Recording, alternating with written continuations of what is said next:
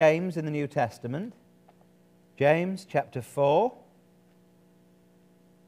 I'll be reading verses 1 to 12. You can find it on page 1215 if you need a page number.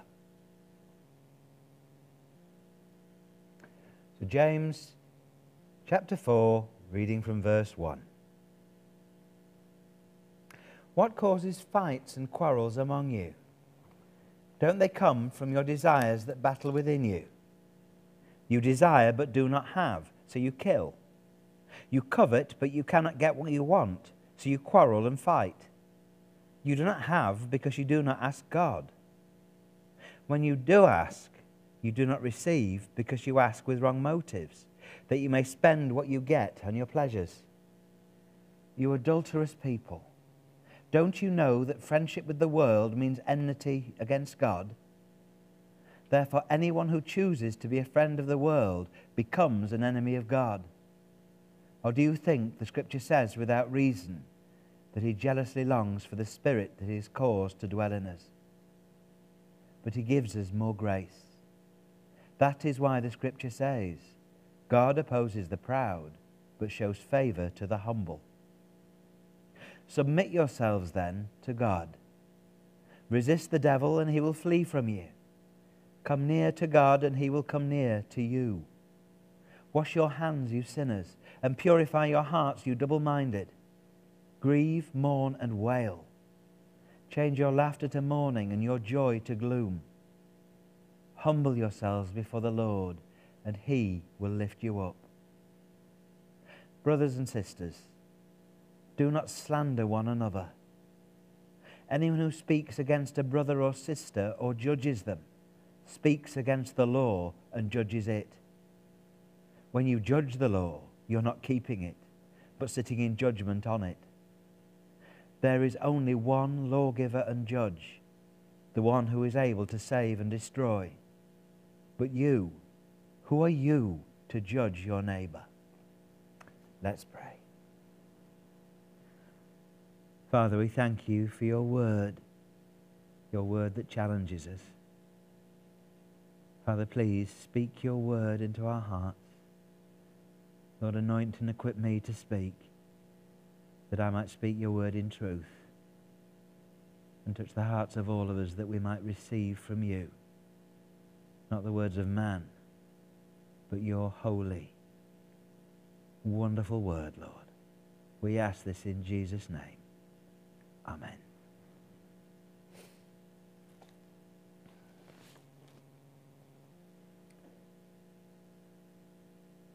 Well, this chapter begins with the words, What causes fights and quarrels among you? Verse 1. So there were clearly some problems within the church. Some, the Christians that James was writing to all those years ago were falling out with one another, they were quarreling. And as we enter, to ver, enter verse 11, Sir James comes to an expression of that disunity. Brothers and sisters, do not slander one another. So there's, there's a major problem within that church.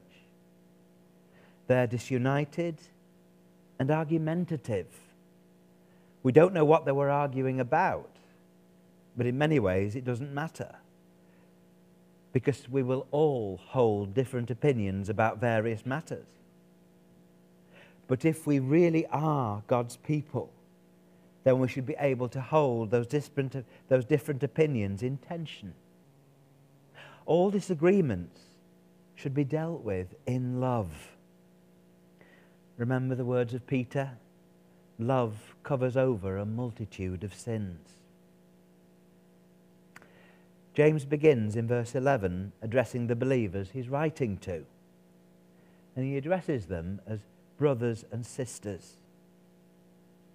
Now, think who James is. He's the great apostle, he's the earthly brother of Jesus, he's the leader of the church in Jerusalem.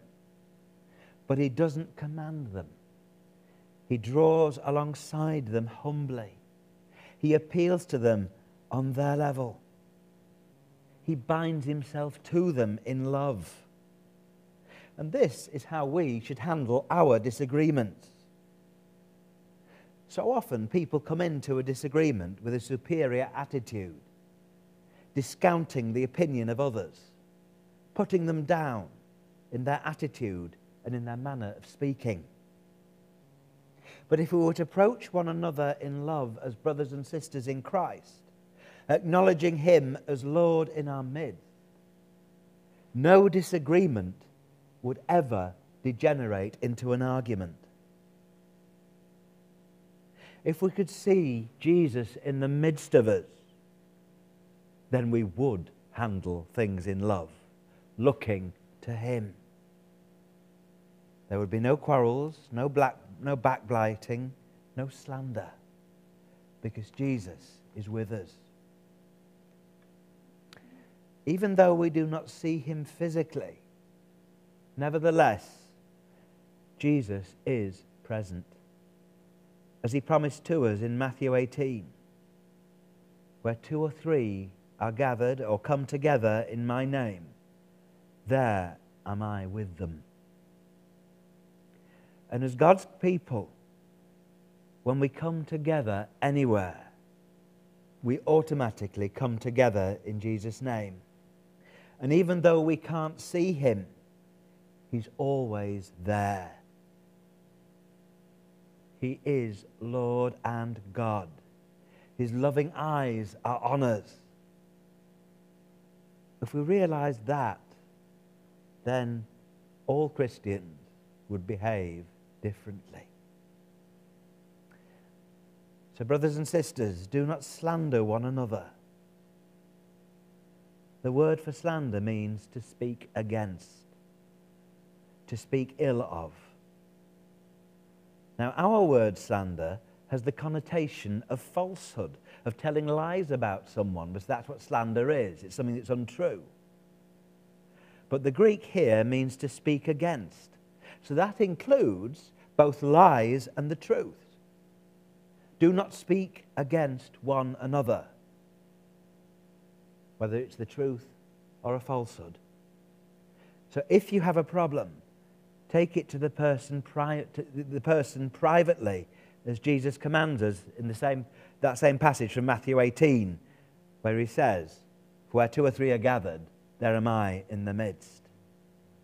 So take it to them privately but do it in love. If we can't love one another as brothers and sisters, those who have been saved from sin, those who have been pardoned by God, forgiven, washed in the blood of Jesus, adopted by the, by the Father, born of the Holy Spirit, if we can't love one another as brothers and sisters, there's something very wrong we need to get down on our knees and beg God's help and forgiveness. Do not slander one another. Anyone who speaks against a brother or sister or judges them speaks against the law and judges it. Verse 11. So, what does James mean when he says, if we speak against one another, we judge the law of God? Well, he's referring us to Leviticus 19.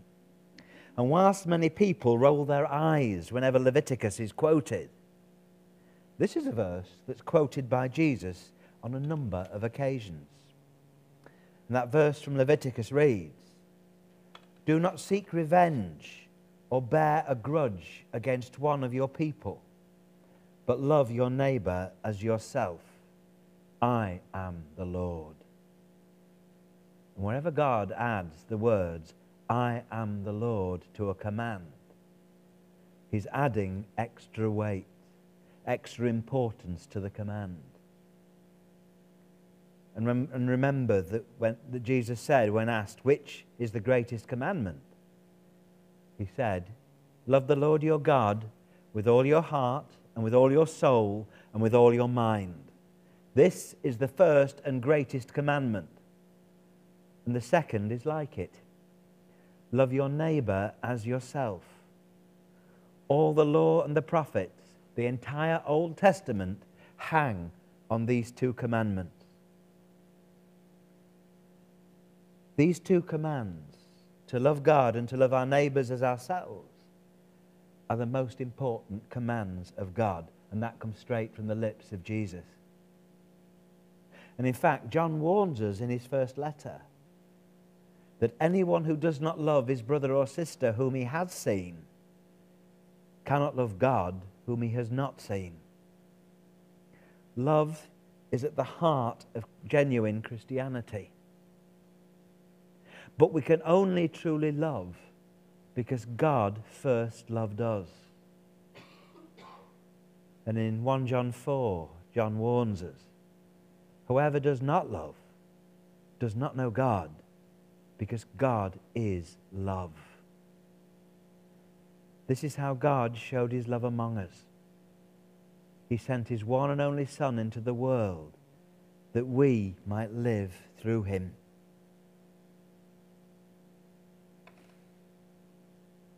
Jesus said that eternal life is knowing God personally. To have eternal life is to know God. And to know God is to love. To love Him and other people, especially our brothers and sisters in Christ. If we do not love, then we do not know God and we do not have life eternal. If we do not love, we're still dead in our transgressions and sins. For love is the evidence, the litmus test of true Christianity. Paul writes that we were each dead in our transgressions and sins in which we used to live. Ephesians 2. We were spiritually dead, cut off from God, the source of life, because of our sins the fact that we're not perfect. And that is the beginning, the starting point for each and every one of us, for all humanity. Dead in our sins and transgressions. But God, in love, gave Jesus for us. Jesus, God Himself, the second person of the Godhead.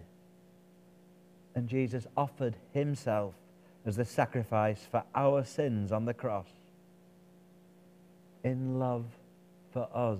He bore it all. Every sin, everything about us that is less than perfect, Jesus died for your sins and mine on the cross. His sacrifice is for you.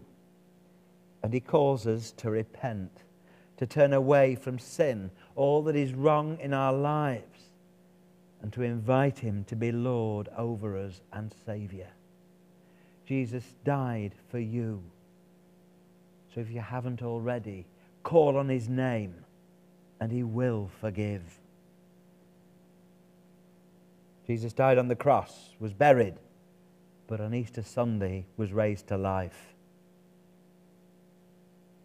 Without Jesus, we were objects of God's wrath. But the moment that we first believe, and this is Ephesians 2. Because of his great love for us, God, who is rich in mercy, made us alive with Christ, even when we were dead in our transgressions. It is by grace, by God's loving kindness, that you have been saved. And God raised us up with Christ and seated us with him in the heavenly realms in Christ Jesus the moment that we first believe, we are raised with Christ. At that moment, we have life eternal. At that moment, we know God personally. We're born again of the Holy Spirit. We're filled and forgiven. And the Holy Spirit begins a work of transformation within us. And the first evidence of the reality of our conversion, of this presence of the Spirit within us, is that we begin to love God and love our brothers and sisters in Christ who also share in his Spirit. And this is why John says, Whoever does not love does not know God, for God is love. We only love because he first loved us and we have experienced that love. And this is why I said that love is the litmus test, the indicator, the evidence of true Christianity.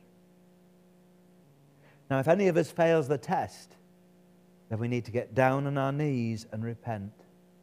Turn to Jesus and call on his name. And in his mercy, he will forgive.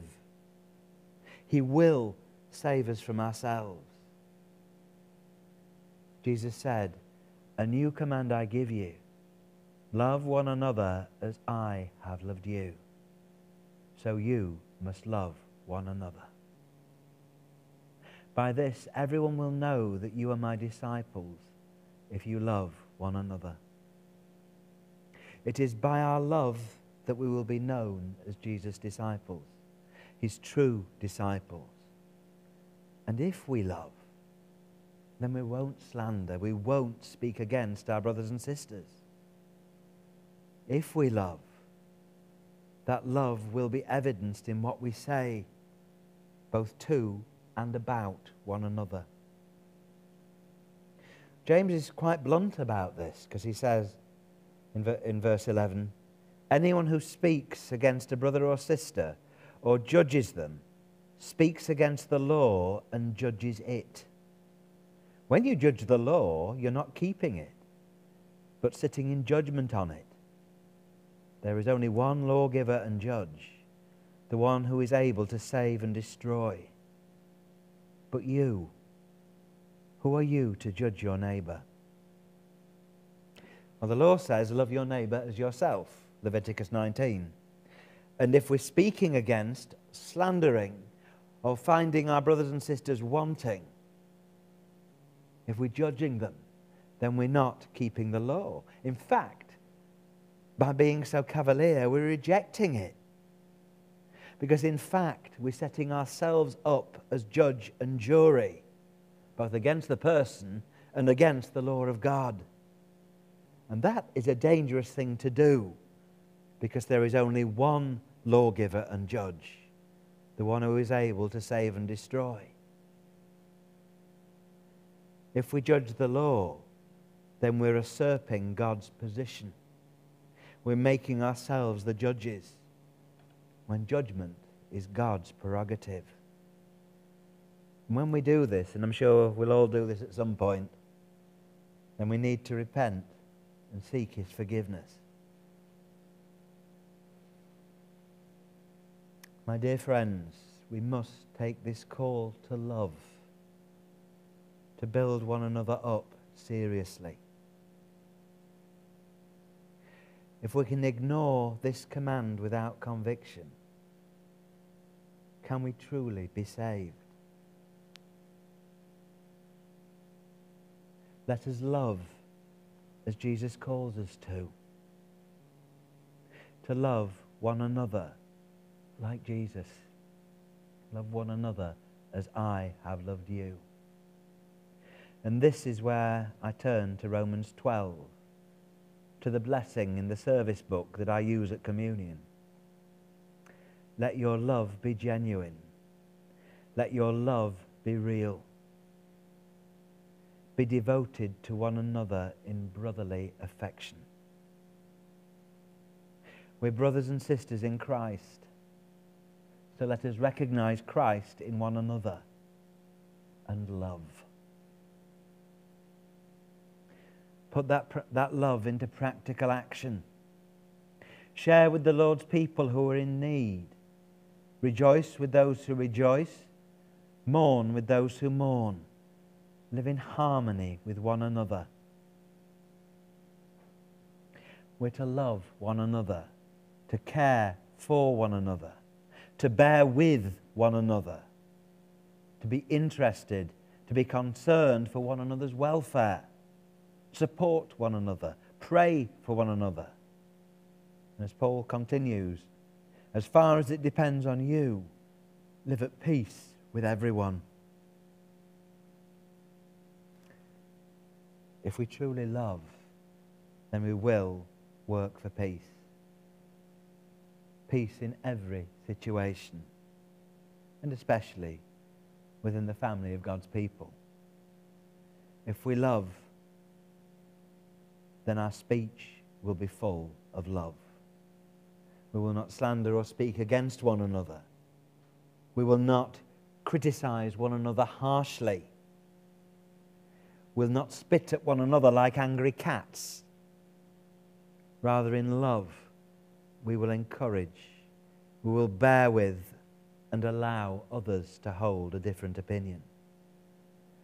And in love, we will use our tongues to build one another up, just as Jesus commands us to. So, my dear friends, let your love be genuine. Let's pray.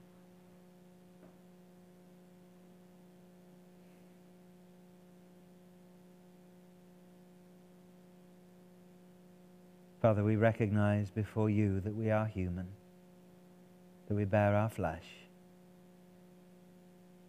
And there are times, Lord, that when our love slips, forgive us those times. Grant us a new experience of your love, we pray. Grant us a stronger taste that we might love one another as you desire. Father, grant that we might live up to this call and not be found wanting. Father, let our love be genuine. In Jesus' name, Amen.